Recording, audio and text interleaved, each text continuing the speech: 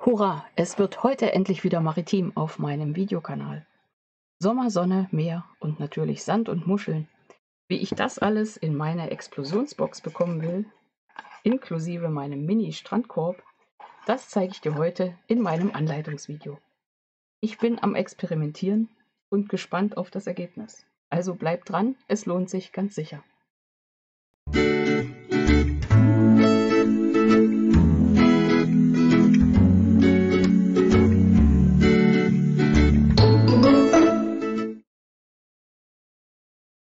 Hallo und herzlich willkommen in meiner Kreativwerkstatt. Schön, dass du dabei bist.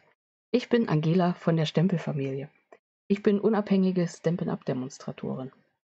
Auf meinem Kanal erwarten dich immer wieder viele kreative Anleitungen und Ideen. Dir gefallen meine Projekte, dann gib mir doch gern einen Daumen hoch und abonniere am besten gleich meinen Kanal. Das kostet dich nichts, aber du verpasst keine meiner weiteren Ideen. Jo, ich habe hier schon mal so ein bisschen eine maritime Farm aufgebaut. Die Projekte habe ich alle so letztes Jahr gebastelt und mit Anleitungen gezeigt. Das ist diese Tasche und diese kleine Schatzkiste, ein Boot gefaltet, ein Rucksack gefaltet, diesen Strandkorb in klein und auch in groß. Die kleinen Projekte habe ich dann alle in meine Explosionsbox versteckt. Dann gab es auch noch maritime Mini-Alben. Dieses hier zum Beispiel. Auch dafür gibt es Anleitungen. Drei Stück kann ich alles verlinken oder frag mich, dann schicke ich dir das auch nochmal. Zeige die Ideen auf meinem Blog, sind die auch zu sehen. Ja, das war das Maritime vom letzten Jahr und heute möchte ich unbedingt nochmal eine Explosionsbox basteln. Mach mal Platz. Und zwar möchte ich das Set Perfekter Moment, das Stempelset, noch einmal benutzen, weil das geht ja jetzt aus dem Jahreskatalog raus. Die letzten Tage des Sets. Und verwenden möchte ich auch das Stempelset wie Muscheln, eins der neuen Sets aus dem aktuellen Mini-Katalog. Mit dem hatte ich schon mal diese Drei-Lagen-Technik gezeigt. Und diese Easelkarte, also Aufstellkarte, kann man schön weiter verschenken. Einen netten Effekt. Und auch diese Mobile-Karte. Dafür gibt es auch eine Anleitung. Übrigens, der Stempel-Nerd zeigt morgen, oder wenn du später das Video anschaust, zeigt aktuell eine Ebenfalls eine maritime Mobile-Karte. Verlinke ich dir, sobald sie online ist. Kannst du sehr gespannt sein. Ist immer nett, mit dem Stempelnerd zu basteln. Ja, schauen wir mal. Ich habe das ganze Projekt bis jetzt im Kopf. Vorbereitet habe ich mir schon mal ein bisschen Papier und dann habe ich hier mein Tütchen echten Ostseesand. Da sind sogar Muscheln drin, sehe ich gerade. Den brauchen wir auch. Zumindest habe ich das auf dem Plan. Es soll eine schöne Explosionsbox entstehen, wo ich nachher den Strandkorb mit reinbaue. Die Anleitung für den Strandkorb, die verlinke ich dir in jedem Fall hier gleich oben beim Video, weil der ist ganz nett. Da kann man hier unten was Nettes reinpacken. Zieh mal raus. Der stand jetzt auch schon eine Weile. Ja, einfach gemacht, sieht kompliziert aus, aber total simpel und sehr schicki. Passt super rein. Ja, hier ist schon ein bisschen Sand auf dem Arbeitstisch, aber wir müssen auch Opfer bringen, das passt schon für meine Explosionsbox. Dann sage ich mal alle Maße an. Du legst dir am besten alles zurecht, dann kannst du mitbasteln und kreativ sein. Die Grundform habe ich 21 x 21 cm genommen und schon Falzlinien gezogen bei 7 cm und bei 14 cm. Das Ganze um 90 Grad gedreht und nochmal bei 7 und bei 14 cm. Das ist meine Grundform. Außerdem habe ich ein Stück Farbkarton in Grundweiß in den Maßen 7 x 14 cm. Darauf werde ich nachher eine Sonnenuntergangs- oder Aufgangslandschaft gestalten, mal ausprobieren für meine Explosionsbox. Dann habe ich Text für Text zugeschnitten kleine Felder in 5 x 6 cm etwa und kleine Auflagen dazu. Die werden wir dann im Einzelnen gestalten.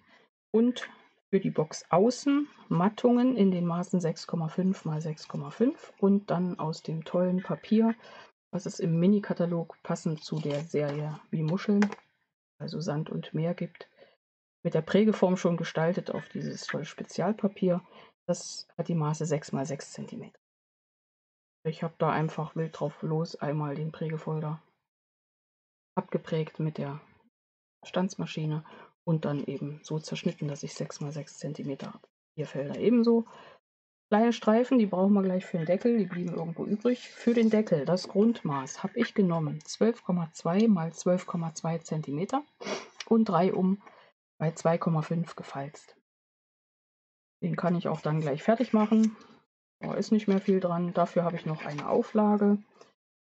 Äh, die habe ich auch geprägt mit dem Spezialpapier in den Maßen 7 x 7 bzw. 6,8 x 6,8.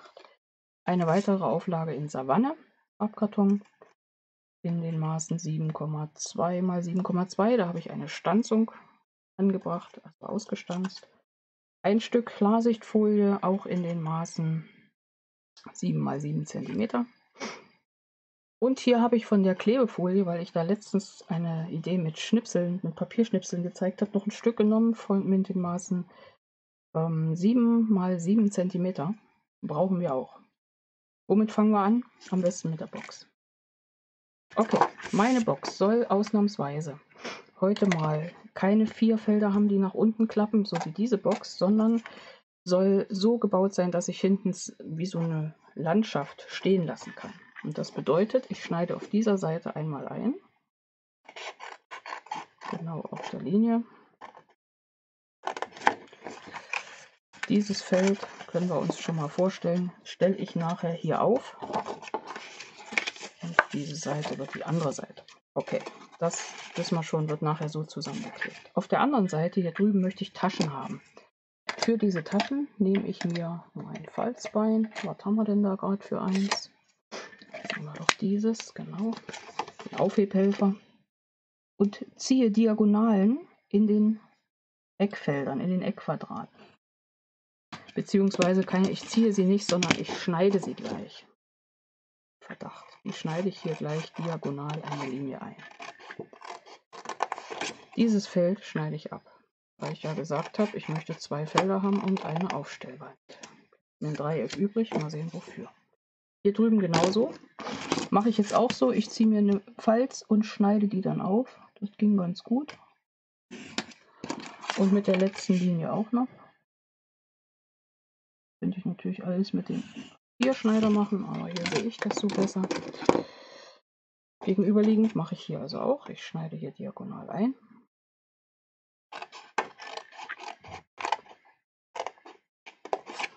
Und dieses Dreieck auf dieser Seite. Kein Mensch Ja, Explosionsboxen in dieser Form, damit kann man ja wirklich alle möglichen Varianten weitergestalten oder eine Aufteilung haben möchtest. Ich habe da letztens mal für einen Workshop eine Skizze gemacht. Jetzt falte ich hier die Seiten um. Schreib mir einfach, schicke ich dir gern zu. Ich teile ja gern. So. Das wären meine beiden Fächer. Lasse ich erstmal so. Das hier hinten wird meine Wand. Jetzt habe ich lange überlegt, wie mache ich das mit meinem Aufstell, mit meiner Landschaft praktisch. Ich nehme ein Extrafeld und klebe das dann hier rein, beziehungsweise ich sehe gerade, brauche ich ja gar nicht. Ich wusste doch, beim Experimentieren gibt es immer ganz neue Ideen. Ich kann es ja hier drauf stempeln und dann hochkleben. So machen wir das. Ich habe da schon mal ein bisschen vorbereitet. Ich sag mal so, ich konnte damit ganz gut leben. Manch einem gefällt das vielleicht nicht, aber wenn ihr schon mal am Meer wart, gerade im Moment finde ich das so spannend, wie unterschiedlich die Schattierungen sind. Und da gibt es dann manchmal auch so dunkle Flecken. Und deswegen finde ich das da so gar nicht schlimm und werde das so machen. Nehme ich mein Papierchen, lege das hier schon mal auf. Nehme mir noch ein zweites zum Abdecken. Damit da nichts daneben geht. Und decke hier unten ab. Welche Farben habe ich mir überlegt? Ich nehme heute die Osterglocke, ich nehme Abendblau, und dazu einen der neuen In Colors und zwar das Celadon. Ich weiß nicht, ob man so spricht. Ich spreche es jedenfalls so. Und damit gestalte ich jetzt hier meine Meerlandschaft, also meine, mein Südsee-Feeling. Genau. So, nehmen wir erstmal den großen Stempel vom Wasser. Vorher vielleicht noch die kleine Sonne. Setze ich hier drauf. Wichtig ist auch, das kann ja alles schön tief und krumm sein, wie das gern bei mir ist, aber die Horizontalinie müsste gerade sein. Das muss ich irgendwie schaffen. Das hinhaut. Also, ich nehme zuallererst aus dem Set Perfekter Moment die Sonne und lege jetzt fest, an welcher Stelle die Linie lang läuft. Sag mal hier. Ich hoffe, es ist halbwegs gerade geworden. Ja. Das haben wir schon mal. Dann nehme ich als nächstes das Abendblau jetzt, wie gesagt, die gerade Linie. Das wird drüben gedeckt. Seht ihr, hier ist die Lücke eindeutig für die Sonne. Das ist schon mal klar. Gut. Und dann stempel ich hier weiter mit dem ersten Abdruck. Schaue, dass das ganz gerade läuft. Setze hier die nächste Lücke, fülle ich einfach auf kann auch mal den Stempel umdrehen. Notfalls den zweiten oder dritten Abdruck nehmen. Jo, jetzt ist da oben noch was, womit ich gar nicht zufrieden bin. Meine Linie noch gerade rüberziehen. Jetzt funktioniert es. So kann man das machen. Kann man natürlich auch ganz anders machen. Nochmal auf. Genau, jetzt kommt mein Schwämmchen zum Einsatz. Ist ja schon, die liebe ich ja, die Bürstchen und werde hier noch so ein bisschen Lücken auffüllen und schon mal einen Hauch über den Himmel hauen. Farbe. So. Dann nehme ich mir als nächstes einen Wolkenstempel. Da gibt es hier so einen schönen großen. Setze ich auf einen Block und gestalte damit mit dem zweiten und dritten Abdruck in der richtigen Farbe. Ich fahre im Celadon passiert, wenn man sich nicht konzentriert. Mann, Mann. Denk noch, heute läuft alles. Denkst du, denkst du. So, zweiter und dritter Abdruck, die sind alle zu verwenden. Bisschen, wie heißen die? Oh, ich wieder nicht, wie heißen die Wolken? Schäfchenwolken werden es nachts. Sind Komme ich drauf. Ist egal. Muss doch nicht alles funktionieren. So, dann haben wir als nächstes ein bisschen grün. Dann nehmen wir hier die Zweige und da kommt jetzt endlich mein Celadon zum Einsatz.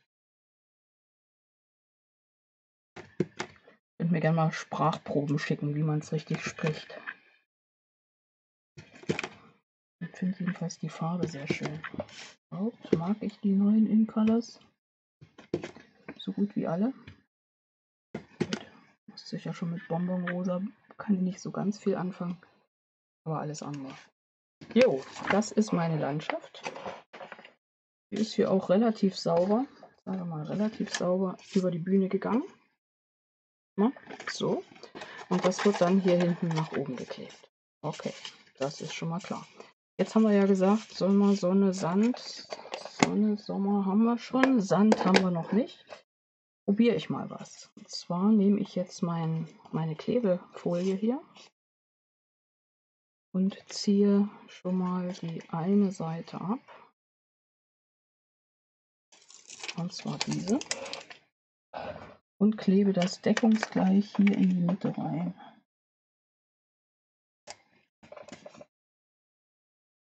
Dann rakel ich das ein wenig. Kennt man ja von Aufklebern für Autos gibt es so ganz spezielle. Ich kenne das von Geocachen. Da wird gerakelt. Sonst funktioniert es nicht. Und jetzt ziehe ich die Schutzfolie ab und so, dass auf der anderen Seite der Klebstoff in meiner Box bleibt. Jetzt kommt mein Sand zum Einsatz. Habe ich kein Löffelchen? Ich habe kein Löffelchen. Nehmen wir das Ende vom das Ende vom Falzbein und jetzt wird hier gesandet. Mal ausprobieren. Gib's zu, ich habe das vorher mit diesen Materialien nicht probiert, aber war mir relativ sicher, dass es funktionieren wird. Und man glaubt es kaum. Es funktioniert. Hier ist ein kleiner Knick, wo es nicht ganz haftet. Aber das ist okay. Jo, mein Sand der Untergrund für meinen Strandkorb ist geschaffen. Immer super. Okay, hier wird hochgeklebt.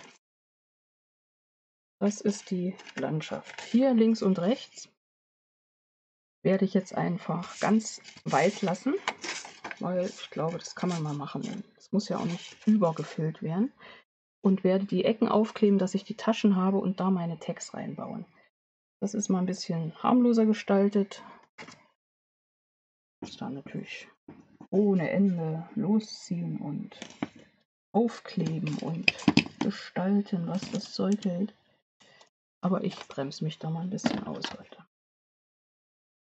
Nehme jetzt Klebestreifen, doppelseitiges Abreißklebeband auf die beiden Spitzen, auf die Schrägen und klebe die jetzt so gerade wie möglich aufeinander. Und dann habe ich meine Tasche. Übrigens ist hier ein bisschen Farbe reingeraten. Das machen wir uns natürlich zunutze und inken nachher, das mache ich aber später, die Kanten nochmal mit dem Blending-Pinsel. So, die andere Seite genauso. Jetzt nutzen wir gleich die Schräge und legen es hier lang. Und hier geht's weiter. Da genauso. Jo, das ist ja schon mal ganz nett.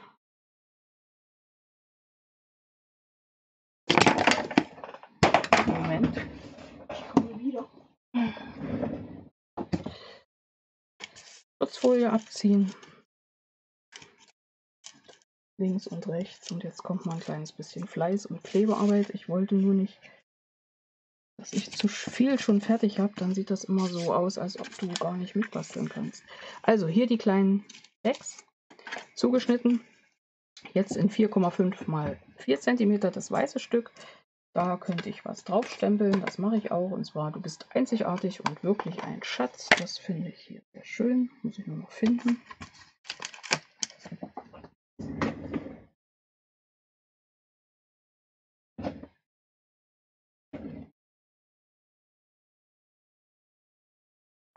Das ist dieser. Ja. Ist ein Stempel runtergefallen. Du könntest mich nachher daran erinnern dass ich den aufhebe. Kannst du gerne in die Kommentare schreiben. Wie ich mich kenne, fällt mir das morgen oder übermorgen wieder ein. Dann ist es zu spät. Also es wäre wirklich eine nette Geste, wenn das einer in den Kommentar schreibt. So, du bist einzigartig und wirklich ein Schatz. Das ist der eine Tag. Und wenn du mal mehr willst, natürlich, das wird der andere.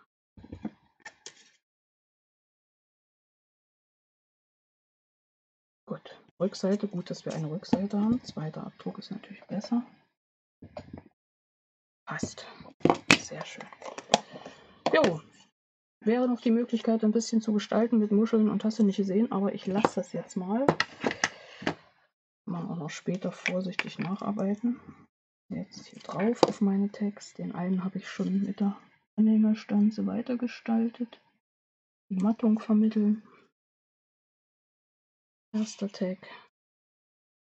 Zweiter Tag, da hole ich mir jetzt nochmal die Anhängerstanze. Schiebe das hier rein, mittel das aus. Stanze. Meinen Finger geklemmt, auch das. So, und dann das zweite aufkleben. Auch da mehr ausgestalten gestalten geht natürlich immer. Vor allem mit mehr bei mehr. Jo, Bändchen oben dran wäre noch möglich noch nachher später machen. Kommt hier rein. Muss hier mal ein bisschen den Sand wegkippen. Krümelkniesel. So, jetzt wird die Wand aufgeklebt. Und zwar hier hinten kommt Klebstoff ran. Schön sauber. Und das Ganze wird zusammengeklappt, gut aneinander gelegt, so dass es von außen wirklich schicki aussieht. Notfalls noch ein bisschen schieben. Und ich sehe gerade, ich muss hier Tatsache die Schere kurz ansetzen und die Wände nacharbeiten. Die Wände nacharbeiten ist ein schönes Wort. So, da schneide ich mal hier noch ein Stück nach. Du weißt ja immer, wenn du eine Falzlinie ansetzt, gibt es ja diese halben und Viertel Millimeter, das schief werden könnte. Und das passiert natürlich dann auch. Gerade wenn man es öffentlich macht. So, jetzt muss man auch noch ein Stück nachschneiden.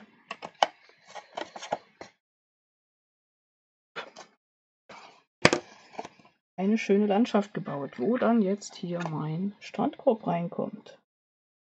Man sieht die Sonne da um die Ecke scheinen. Ja. Die Tags werden eingeschoben. Nummer 1 und Nummer 2. Auch da könnte man noch die Ecken abrunden. Und das Ganze wird hochgeklappt. Super. Und jetzt gestalten wir außen. Vorbereitet habe ich ja schon gesagt, die Mattungen und die Auflagen, die ich aus dem Spezialpapier gestanzt habe, geprägt habe, heißt das richtige Wort. Genau. Jo, jetzt wird geklebt. Das geht hoffentlich ganz schnell. Und wenn ich mit Kleben fertig bin, zeige ich dir noch den Deckel. Und da habe ich mir überlegt, einfacher Deckel, klar, kann man machen. Aber ein Deckel mit einem Schüttelelement ist auch noch mal was Feines. Dann werden wir das einfach zum Schütteln bauen. So. Und Nummer 4.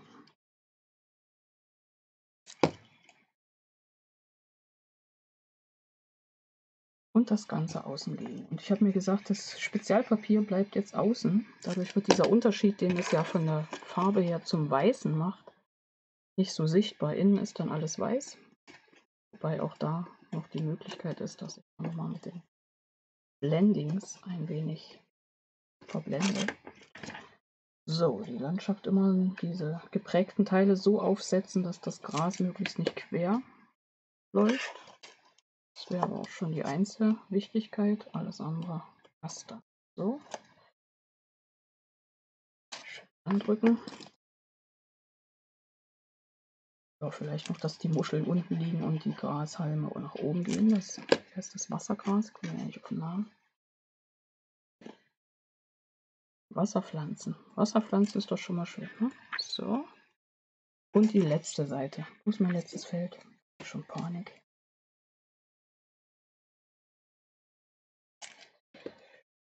So.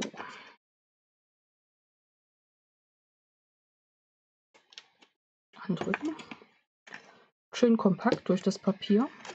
Ich hatte aber auch bei dem grundweißen Karton, ich nehme jetzt mal den anderen Deckel, um das schon mal in Form zu halten. Bei dem grundweißen Karton hatte ich ähm, das extra stark genommen. Ne? Einfach so nochmal als Tipp. Jetzt gut alles andrücken. Es sitzt schon ganz gut und jetzt widmen wir uns dem Deckel für diese Box. Ich mache jetzt mal den Sand weg, auch wenn du es ahnst, dass der Sand wieder hin muss nachher. Und jetzt schneide ich hier. Und zwar immer rechts das äußere Feld ein, weil das wären gleich meine Klebeflächen also die Seitenkanten und die Klebefläche. Und schneide jetzt im zweiten, in der zweiten Runde einen Keil raus. Kleiner Keil. Form. Kleiner Keil. Wunderbar. Jetzt, bevor ich es klebe, setze ich hier meine nochmal meine geprägte Landschaft rein. Das schimmert so schön. Klebe ich hier fest.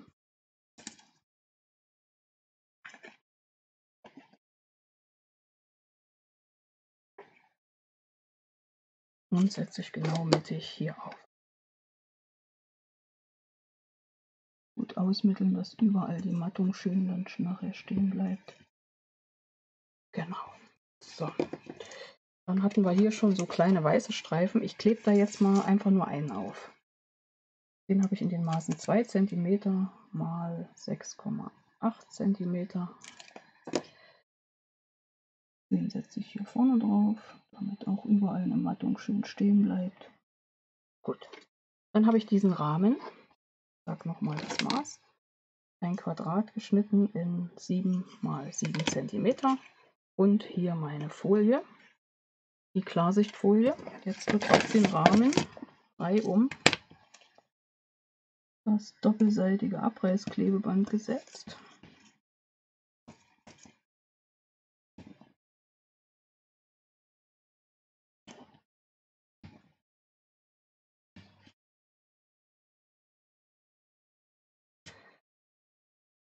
Klebeschutzfolie abgezogen.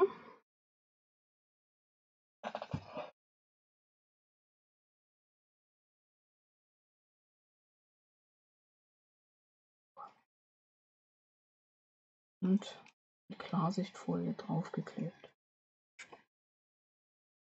Gut abdecken, so dass nichts übersteht. Passt, klebt.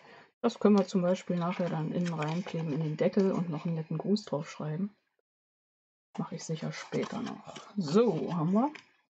Jetzt brauche ich diese Klebestreifen. Sind auch im Katalog auf der Seite, wo die Klebstoffe sind, also wo die Klebebögen sind, gibt es auch diese tollen Klebestreifen. Die machen sich einfach gut für alle Schüttelelemente. So. Fast einmal umgereicht. Fehlt noch ein kleines Stück, nämlich noch den letzten Streifen. Wichtig ist, dass das hier komplett geschlossen ist, sonst fliegt uns dann das kleine Gemüse raus. So, man muss das natürlich nicht wie ich reißen. Man kann es auch schneiden. Letztens erst bei meinem Sohn gesehen, auch das doppelseitige Abreißklebeband kann schneiden. Tatsächlich. So, das haben wir. Das haben wir auch. Und ich mache jetzt folgendes. Ich gehe hier mal kurz mit meinem Wischiwaschi drüber und setze hier noch so ein bisschen Farbe ran. Nicht viel, aber ein bisschen in, in Blau. Und hole mir gleich auch noch mal ein Minimal in Grün.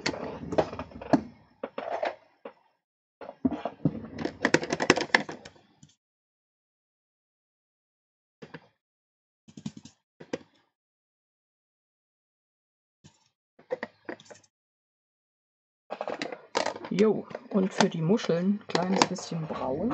Warum nicht?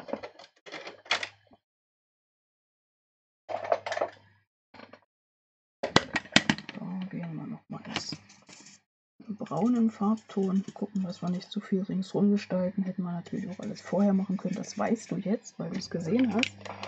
Und jetzt bekommt das so einen schönen Schimmer nochmal extra. Finde ich relativ witzig. Jetzt falte, falte ich endlich mal. Klebe auch schon als nächstes gleich, aber jetzt kommt mein Schüttelelement. So, und jetzt ist die Frage, wenn du natürlich echte Muscheln hast, ich gucke mal, was hier so drin ist, oder kleinen Schnullikram zum Reinstreuen, Perlen oder sowas. Ich nehme erstmal ein bisschen Sand. Finde ich ja schon mal ganz witzig, dass da echter Sand drin ist. Und ich gebe es zu, ich habe es mir nicht zurechtgelegt. Ich hole es jetzt. Moment.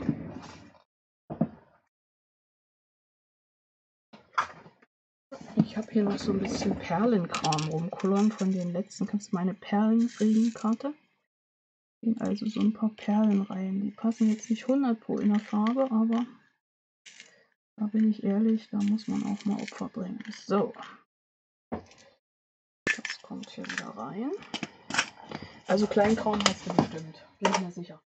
Was man da schön reinfüllen kann. Ich habe hier auch noch so eine große Kiste. Mal gucken, was da noch so auf Anhieb zum Vorschein kommt. Moment, ah, muss wieder aufkriegen. Muss man stark sein. Ich gucke mal, ob es da noch Schüttelelemente gibt, die in irgendeiner Weise ins Bling Bling passen. Hier oben wäre noch was. Ja, aber ich sag mal so, das meiste haben wir drin. Man wieder wegpacken, brauchen wir nicht. Nicht hierfür. So, jetzt ziehe ich hier die doppelte Klebefolie ab. Und da habe ich jetzt nur eine Möglichkeit. Es muss also alles schön in der Mitte liegen. Und alle Seiten schön geschlossen sein. Und dann setze ich meinen Rahmen mittig auf.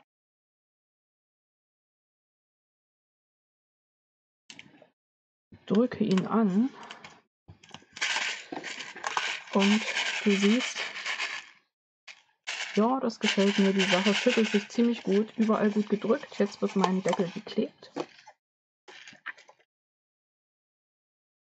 Die vier Eckfelder einstreichen. Gut zusammendrücken.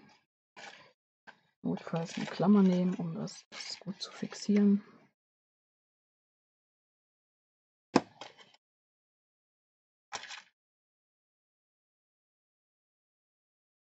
Ja, jetzt je nach Zeit kannst du gucken, ob du das Ganze noch weiter ausgestalten möchtest oder ob du sagst, jetzt reicht's. Wenn ich auf mein Videozeit gucke, weiß ich, jetzt reicht's. So lange kann man auch gar nicht zuschauen. Toll, wenn du bis zum Schluss ausgehalten hast. Super. Ich danke dir. Ich setze das jetzt noch zusammen und schaue mal, wie ich das nachher noch ein bisschen weiter ausgestalte. Und dazu gibt es einen Beitrag auf meinem Blog. Nochmal mit allen Maßen und mit einigen Bildern. Und wie gesagt, alle maritimen Elemente, die sonst noch hier so rumschwirren. Anleitungen dafür verlinke ich dir gerne. Ich habe auch eine Playlist, wo alles maritime Ideen sind. So, jetzt dran denken, die Wand steht. Also Innenteil, Strandkorb rein, Klappen hoch, Grüße, schauen, ob da noch was drauf kommt, Außengestaltung und der Schütteldeckel oben drauf. Und fertig ist meine maritime Box mit Schüttelelement, mit Strandkorb und mit Sommer, Sonne, Meer, Sand und Muscheln. Jo, erstmal schauen, wie ich die noch fertig ausgestalte, was da eventuell noch reinkommt. Bilder, wie gesagt, auf meinem Blog. Fertig ist mein Projekt für heute. Ich hoffe, dir hat mein Video gefallen. Dann gib mir einen Daumen hoch, da freue ich mich riesig drüber. Dankeschön. Willst du meine Idee nachbasteln? Speichere dir am besten dieses Video gleich in einer Playlist. Dann brauchst du später nicht lange suchen. Hast du Fragen? Schreib mir einfach. Abonniere meinen Kanal, wenn du es noch nicht gemacht hast. Klicke auf die Glocke neben dem Abo-Button. Das kostet dich alles nichts, aber du bekommst regelmäßig meine Ideen. Alle Maße findest du auf meinem Blog www.stempelfamilie.blogspot.de. Die verwendeten Materialien sind von der Firma Stampin' Up. Du kannst sie direkt über mich bestellen. Gern beantworte ich dir alle Fragen dazu. Nun wünsche ich dir kreative Zeiten. Bis zum nächsten Mal. Ich freue mich schon drauf. Deine Angela von der Stempelfamilie.